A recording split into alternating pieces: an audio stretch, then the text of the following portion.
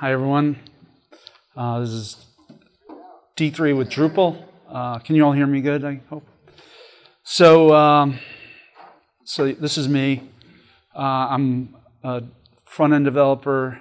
I um, come from a design background, love design, love baseball, work at Mediacurrent. Did someone say go Sox? All right, there we go. Any other baseball fans? And Ryan's a Met fan, I know that. What? Braves, okay. So uh, yeah, baseball is a passion of mine. It's my Twitter handle, um, and this is what we'll be covering. Um, so it's it's about using D3, which is a uh, JavaScript library for visualizing data, and um, so these are the things we're going to cover. Um, D3, the components are one of the main components, the graphic component, is SVGs. Um, get into D3 syntax a little bit. There's a D3 module for Drupal 7, which is, which is pretty great. Uh, and any questions you may have. And I'll, I'll get into, um, when I get into the module, I'll kind of show some demonstrations of, of D3. So uh, D3 has nothing to do with Drupal. It's not, it, by itself, it uh, stands for Data-Driven Documents. Um, as I said, it's a, uh, it's a JavaScript library, um, and it's used for showing data in a compelling way. And that's the URL if you want to explore it more. Uh, very easy to remember. Um, and I just thought before I go any further, I, I, mean, I don't know how familiar you all are with D3 or if you've used it or, or whatnot, but I just thought it would be helpful to show some examples. So, I mean, um, whoops. I'm just going to open up some. Uh, New York Times has done a lot with it um, on, on their website, and it's pretty awesome. I mean, as you can see, just uh, as a mapping tool, as a charting tool. Uh, like I said, I mean, you can and you can show data like this over time. I mean, it's it's it's amazing uh, what people are using it for. Um, and go back to that pres. And this is another cool one I found. So this is uh, showing every satellite actively orbiting Earth. So it's pulling actual live data, and it's showing the, the satellites and I guess they're you know like their relative position, um, and it's it's organized by country. So um, a lot of blue in there for the U.S. Um, but as you can see, it's just the amount of data and, and, and just the complexity of it. It's pretty awesome. I mean, here's the key up here, so you can kind of see. But and then and then you can also have you know um, you can have layers of data in there too. So you can see, you can hover over these individual items and see what, you know, see what's what. So I just thought it would be helpful to, to kind of go through and, and show you a little bit of, of what it can do. Um, so ha- basically, D3 has a few components. The main one for the graphics is SVG, um, which is stands for Scalable Vector Graphics, which I think is kind of redundant. I think vector should mean scalable, but whatever. Um, uses XML, and as a result, it can be styled with CSS, which is really cool. Uh, it has its own CSS uh, syntax, which we'll get into.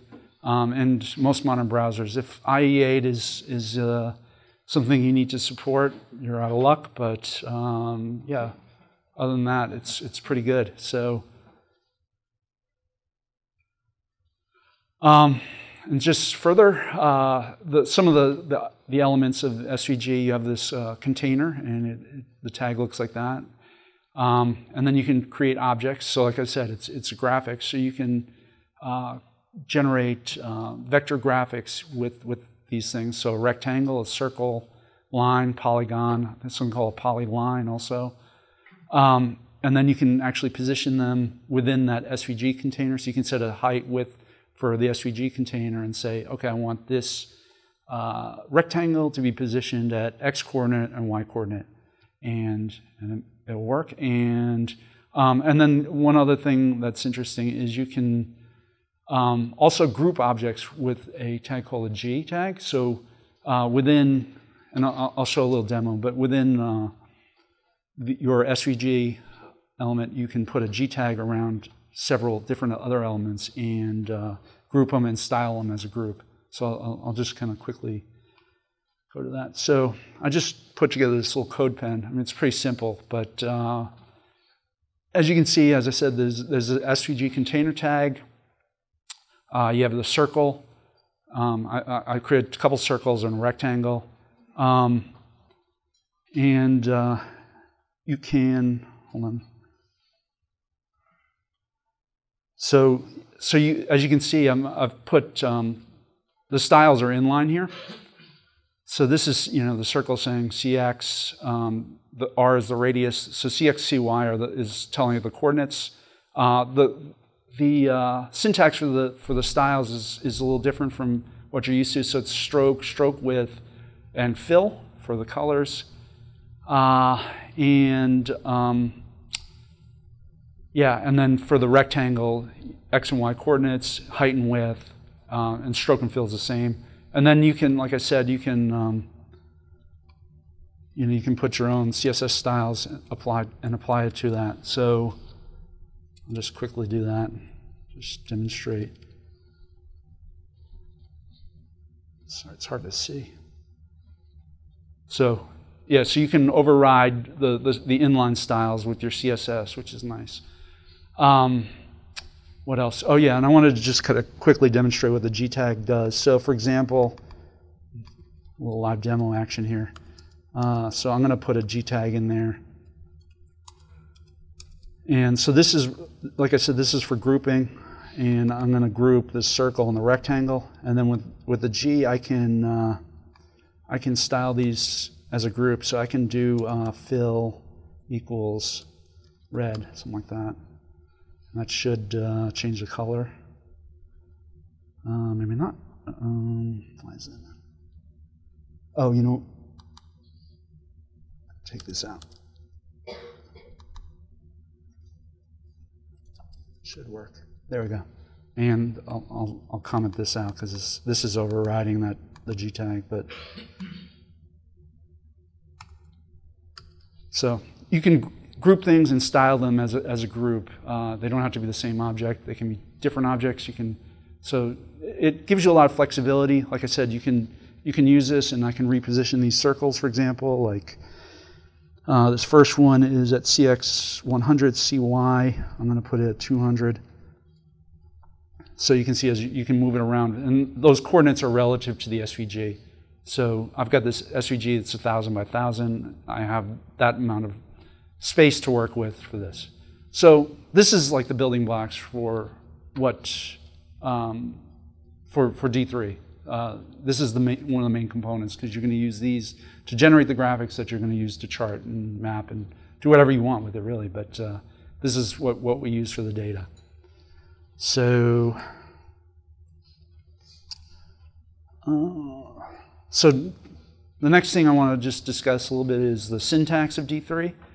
Um, as I said, it's a JavaScript library, and um, it's, in my mind, I mean, if you, have you all used uh, jQuery at all? It's, it's sort of similar to that. I mean, it's, it, you're, you're basically, the format here is you're initializing as a D3 element, you're initializing D3, then you're, you're making a selection, you're saying, take this out of the DOM, and I'm going to do this with it. It's just it. I don't know. I just I really like the way that works. Um, so in this in this there's two methods here that, that I'm showing. So select all would select all divs within the DOM. Uh, select you can select a specific div. Uh, you can use it for you know whatever you want, to class, you know p tag, whatever, um, and you can you know you can apply styles to it that way. Um, you can actually you can select you know. Uh, a SVG element like a rectangle or a circle or what, what have you. Um, so this is this is just the beginning of that. And um, here I'm showing you. Uh, so you, you, you select the p tag, and we're we're appending a SVG. So we're actually this is actually generating the SVG, and it's applying attributes to it. So append this SVG to a paragraph and it's going to be 500 pixels by 500 pixels. So that, that's you're, you're starting to create your canvas. Um, yeah.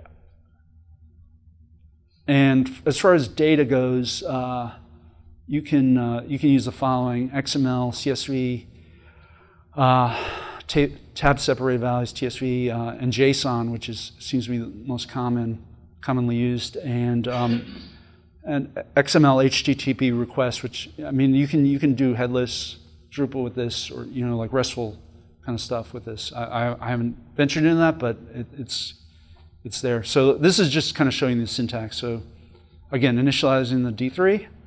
Uh, this is uh, this is the format. This is the source. So you would put your path here to your data source, um, and then and then you can you can do the rest. But this, this is showing you know if, if, there's an error there, it throws an error at you. So um, yeah, so there's a module, and uh, it uh, it works with um, it works with views, and it requires views and libraries. Uh, so you should know that right off the bat.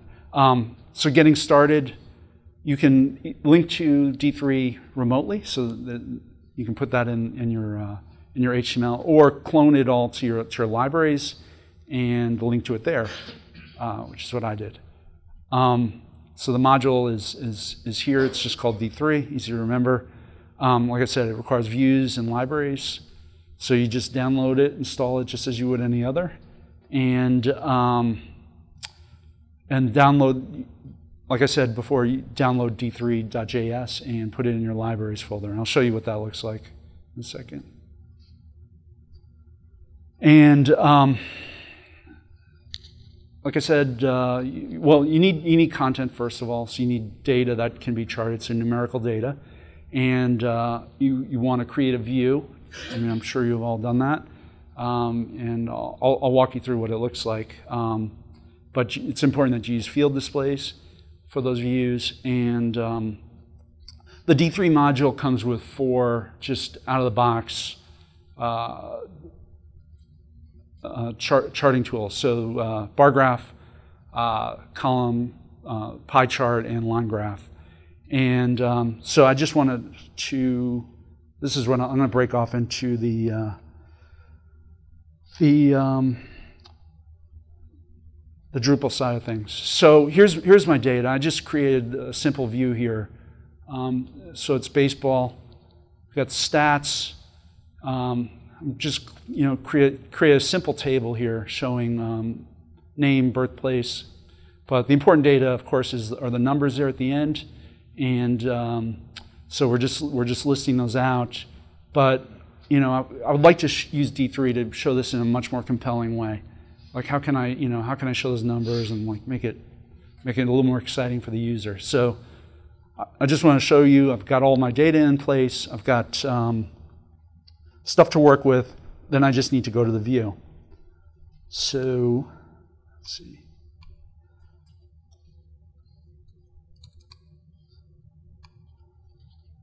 So this is the view. Um, and I'll just show you how I set it up. So uh, format, once you install the D3 module, you can select D3 visualization uh, as a format. Um, the fields I've, I've, I've, put here, so I've got I've got on base percentage. I, I keep a label in there. Um, I, for, for, my purposes, I, want to see it out to three uh, three decimal points. And same thing with slugging percentage. So I've got this, this out here. And, um, and then I've got a title for this. So this is this kind of, I'm, the way this is going to work is I'm going to group these two pieces of data for each title. So the title is, is going to be the, um, the player's name. So, because that's the title of the node, right? So this is what this is what it looks like when you when you put it all together using the D3 module. So you've got, um, like I said, it's you've got the x-axis, and this is the title of the node, which is the player name. And um, I'm going to group these these values with that.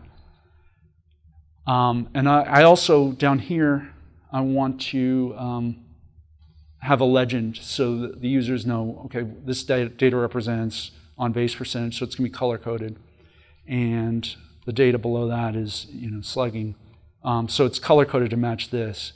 And as I said, there's four uh, possibilities that you can use: um, pie chart, line chart, line, uh, line graph, uh, column, column chart, I've created another one. I'll get into that in a second. But uh, but out of the box, um, these it, it looks something like this. So I'm going to go to the page.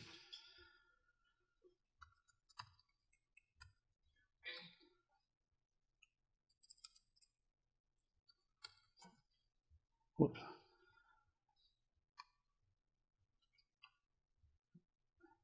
Baseball stats. Sorry. I don't have any navigation on this site. So it looks like this, right? Um, it's just it's kind of boring though. I mean, I can't. I can I could go in and change the color in the CSS if I wanted to. Uh, you know, it it gives you these um, these sort of primary colors. You've got red, blue. I think yellow's in there. If if if I had other values in between each, but it's it's it's kind of boring. Like I said, it, it's it, it's very utilitarian. It, it's created, you know, not customized for a particular uh, statistic um, or number. Um, and then as you can see, it, has got so it, you know I could go in here and I could you know I could change the CSS and, and select the first one in a group is always going to be uh, dark gray and the second one's going to be light gray or something like that or whatever colors I want. But um, but that that that's uh, it's kind of plain out of the box and and um, so I want to change that, and I would. Uh, fortunately, I can I can do that um, with uh, by creating a, a separate library. So if I create a custom D3 library, um, this is why you need the libraries module. In, in my libraries folder, I would create a folder, and this is for D3 my chart, and I, I would need to have the um, the following files within that. So uh, the, the, the naming has to be consistent. So uh, D3, my chart, libraries.info, and I'll show you what all these files look like. MyChart.css if you want to put uh, your own custom CSS in there, MyChart.js, and a view settings file. Um, and I'll just show you what that looks like here. I don't know if it's going to be readable, but so this is the um, libraries.info file, and this is what tells uh, views that this uh, library exists, and it uh, it sets it up to use um, views output uh, with uh, with D3.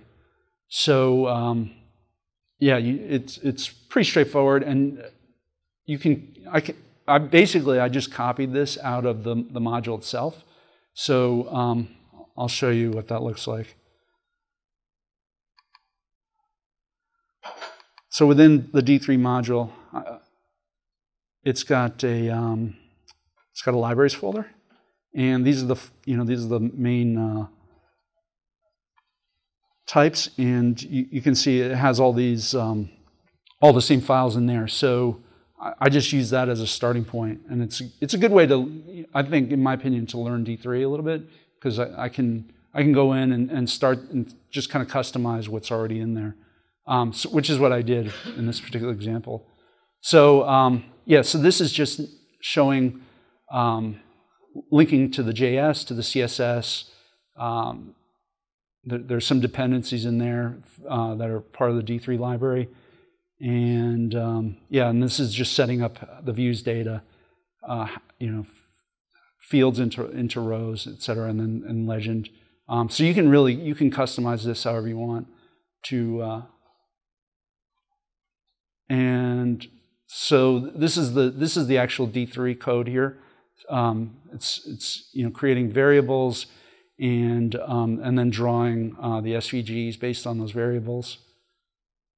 And the CSS, I, I kept it kind of lean, but um, I put some some styles in here.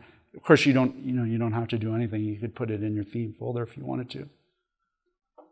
Um, yeah. So I'll just go back to that view, and uh, so I've I've created this thing. It's called column chart two. Um, apply that and save, and hopefully hopefully everything's intact. So yeah, so I'll, I'll just show it to you in, in the context of the of the node. But um, so yeah, I, I just wanted to customize this a little bit, make it a little bit more sophisticated colors, and and um, also uh, you know the numbers are a percentage out of, out well out of one really, although slugging percentage could be four really because uh, it's it's total bases divided by you know at bats. So you could if you hit a home run every at bat, it would be four, but no one ever does that. So, um, but yeah, I just wanted to show it a, a, a more meaningful scale than what they were uh, the original um, column chart was showing, and um, and then it's got these nice little tooltips here, so showing the uh, the actual values, and then like I said, the legends are over, over here on the right. Um, and and then the the data across the bottom here. And then you know what's what's nice too is, and I'm gonna I'm gonna do a little live demo here. Hopefully this doesn't break anything. Last night I was playing around with this like 11 o'clock, and uh, the view just it just yeah just all my data disappeared, and I couldn't I couldn't get it to to show up again, and uh, it was good. I needed a little cry. So I'm gonna. So I, I mean, there's there's cool things you can do, right? So I've got. I want to sort by slugging percentage, and I want to expose this to the user. So I'm gonna I'm gonna I've got these two sort criteria. And now cross your fingers, everybody. All right, cool. So right now, it's sorted by last name because uh, I've got an uh, I've got a field in there, so everything's alphabetical order by by surname. Um, but the, this is why I love this module because with uh, views you can you know you can use views to your advantage and then um, apply the data. So I can sort by you know slugging percentage from low to high uh, which I think is really awesome. I mean, I, I, think it's just it's cool that I can manipulate data like this, um, and it's it's so easy to get started on and, and get involved with. Uh, so yeah, um, and then I could I could even make it even more complex. So I could take I could do on base percentage too.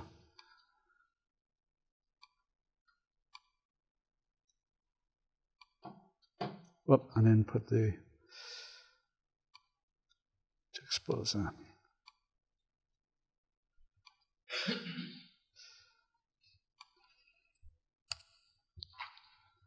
So, apply. It's hard to tell, but I, I, that looks like it worked. It's data's a little, uh, it's very similar. But at any rate, yeah, you, you, you know, I can I can uh, change the order go back to name, that sort of thing. But yeah. So it's it's not you know this isn't the New York Times yet, but I'm working on it, right? Um, anyways, so yeah, I mean you can imagine you can you can do a, you can do a lot with this data, and you can uh, manipulate it however you want with uh, with D3. So uh, final thing is you, could actually do it without the module. I, I, I don't know. For me, I'm not gonna. I'm not a hardcore coder, so it's it's it's harder to, for me to to do something like this. But you could actually um, use your your views, ex, you know, export from views to. Um, I, I, haven't used this module. I don't know if you're familiar with it. Called Views Data Source. Apparently, it, it exports JSON. Um, I know the D8 views. Does D8 views export as? You can export as JSON, can't you? Yeah. Um, so with D8, I think it would be easier, which is important because there is no implementation of the the uh, the D8 uh, D8 version of this module yet. So, um, and um, then um, what was I going to say? So yeah, you, or you could you could just use an external file. You could just have your own JSON file and uh, pull the data from that. You know, it's like a, just an array, really and, um, and then customize your D3 library and, and tie it into your data directly. And that's it. I don't know if, um, if you all have any questions or if you want to, uh, to look at any, anything further. I encourage you, you know what's great? I'm oh, sorry, just before. The, the cool thing about the site, the d3js.org site, is so this is it here. Um, it's got like hundreds of examples. I think it's hundreds, maybe, maybe I'm overstating it. But uh, it, you know, there, there's all kinds of possibilities here, and you can you can kind of so I can click on one of these, and I can see how they built. Uh, this doesn't look right. Well, I can see how they built because it has the code there, and I can I can. Yeah. Okay. So here's a here's a cool chart, right? Uh, well, actually, it's not. Sorry, bad example. Let me find a good one. Oh.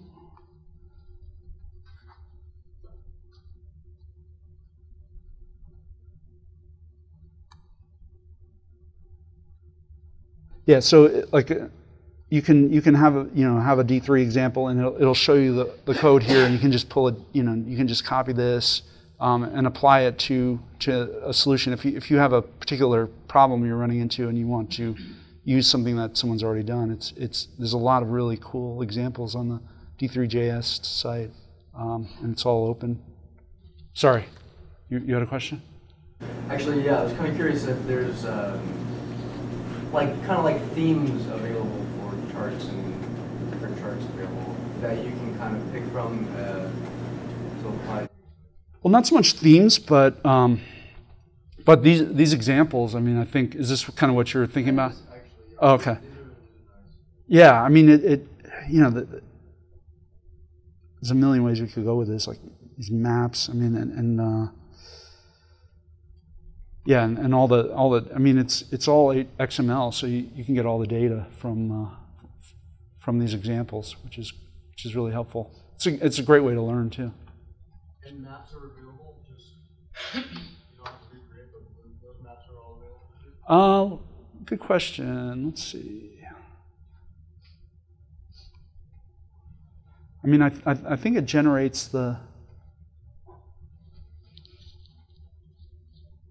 I think this is generating. Let's see. Maybe not. I don't know where that, that's pulling in.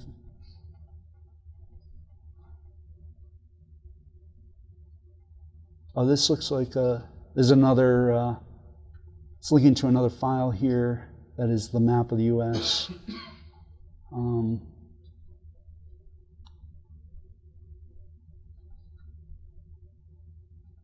hmm. I don't. Yeah, I don't. I don't. It should all be in there because it's you know it's all SVG, right? So um, I'm guessing you know depending on what uh, what you, what what you're looking for.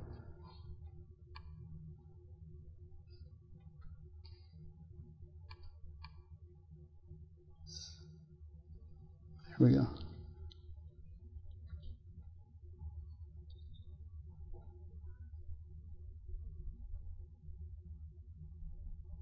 Yeah, I don't see a link to the map in here.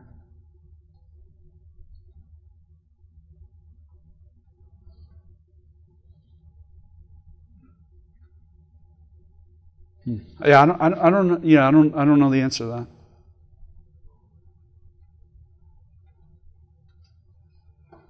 Uh, any other questions? Do you know any uh, like sites for like good um, like sports data? That's like Uh, really available. yeah, New York Times has some awesome stuff. Let me. Uh, what was that site I found? Um, they did one that was like. It was a history of like college football. Um,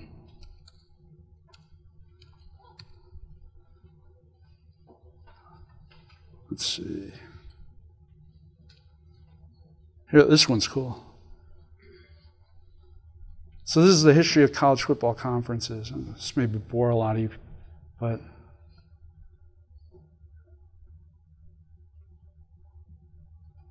it's taking a little while to load. It's a lot of data in this one.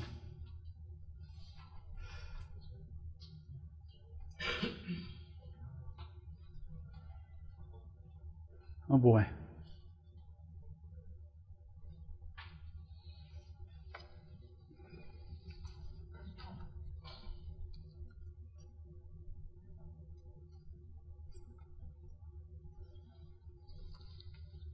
Sorry.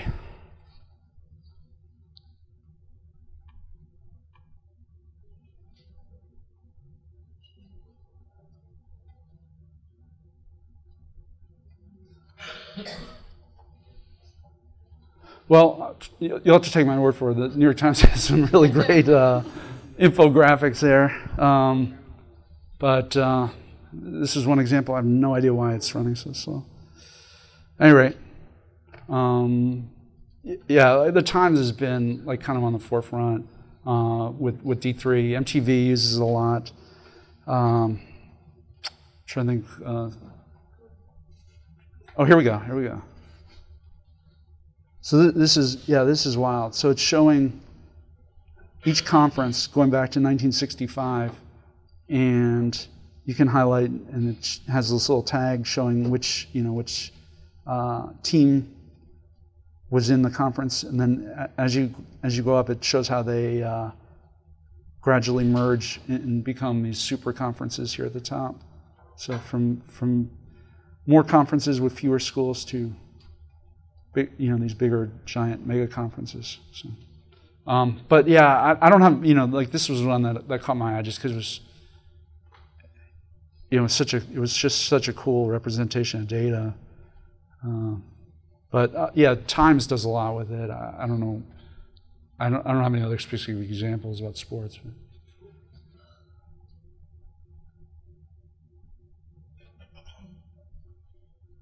Anyone else have questions?